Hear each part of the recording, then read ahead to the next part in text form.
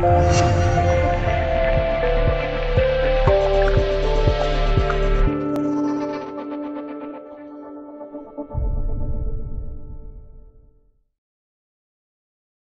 能一说到中国足球球员，特别是国足的时候，一众球迷都会出现一种厌恶之情。毕竟在成绩球技不足的时候，很多球员依然还是展现出一个无所谓的样子。不过也不能一竹竿扫倒全部人，其中有三位球员的场外行为还是值得称赞的。豪车、阳宅和娇妻，这基本都是如今球迷对于中国足球运动员的标签。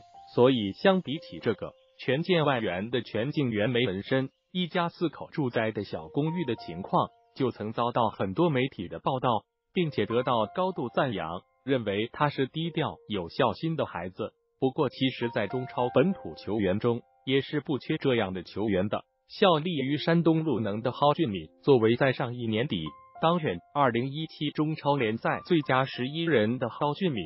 是在十一年的时候离开德甲豪门沙尔克，回归到中超赛场上，而也正是技术出众并且勤奋，所以在回到山东鲁能的时候就已经拿到九百万的年薪，当时一度成为中超国内球员的第一年薪。不过虽然是有着高收入，当时蒿俊闵并没有因此为放飞自我。由于从小就出生在湖北农民家庭的他，小时候家庭条件也是十分艰苦。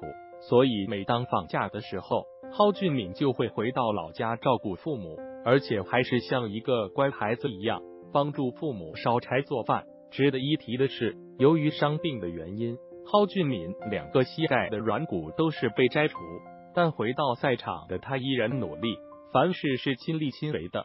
天津权健赵旭日这一位国足有名的球员，可能一提到他。球迷的第一感觉就是最近几年球技退步严重，并且脾气火爆的一位国足球员。但虽然如此，这位曾经帮助广州恒大拿到三支冠军，并且年薪达到七百万的赵旭日，在场下特别是对母亲方面，实在是没话可说。很多人都不知道，其实这位脾气火爆的赵旭日，并非在一个健全的家庭中长大。所以造成他从小就要想保护自己和母亲。对于单独抚养自己长大的母亲，赵旭日怀着十分感激的感情。特别是在找女友上，他要求是要接受和妈妈一起住，并且对他要好。还有每到休息日，赵旭日就会陪着妈妈上街或者旅游。这也是导致现在已经三十三岁的他，并没有像高林、吴磊那样早早就成家生子。根据他自己说。从小父亲就离开了，只有妈妈照顾相依为命。现在希望自己能够用更多的时间陪陪他，就还没考虑到自己结婚的问题。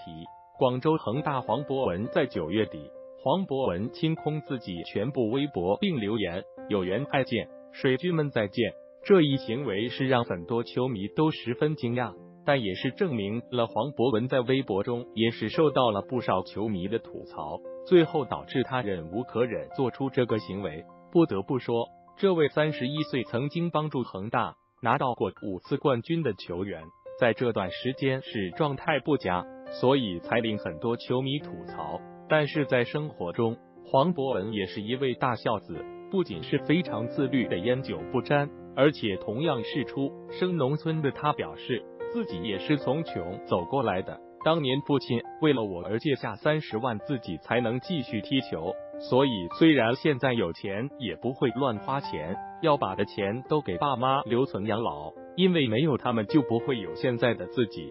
能看出上面的这三位中超球员也是不比全信源差，是一位值得称赞的大孝子。